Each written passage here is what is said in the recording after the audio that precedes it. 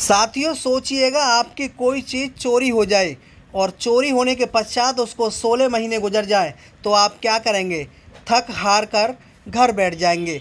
अगर वही चीज़ आपको 16 महीने बाद वापस मिले तो आपको कितनी खुशी होगी। ऐसा ही एक वाक्य लखीमपुर खीरी जनपद के पलिया कला में। डेढ़ साल के बाद खोई हुई भैंस पाकर खुश हुई मुन्नी। देवी ने विधायक रोमी साहनी को बताया भगवान स्वरूप। दरअसल आपको बता दें कि 16 महीने पहले गायब हुई भैंस को पाने के लिए पागलों की तरह दर दर भटक रही पीड़ित महिला मुन्नी देवी 16 माह भैंस मिली तो लोगों ने भैंस देने से मना कर दिया, जिसके बाद पीड़ित महिला पहुँच गई विधायक रोमी साहनी के पास।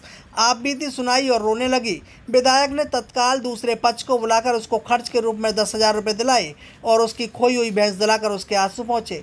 इसके बाद तो महिला की खुशी का ठिकाना ही ना रहा।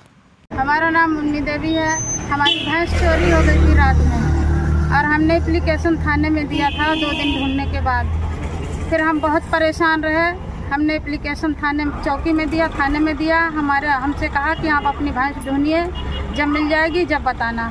सोलह महीने के बाद मुझे मेरी भैंस दिखाई पड़ी, मेरी भैंस मिली और मैंने उसके बाद थाने में बताया, मेरी लापरवाही सुनाई नहीं हुई। जब मैंने विधायक जी से कहा, रोमी साहनी विधायक जी हैं, उनसे कहा तो उन्होंने भैंस कहा कि ठीक है, भैंस दिलवा देंगे।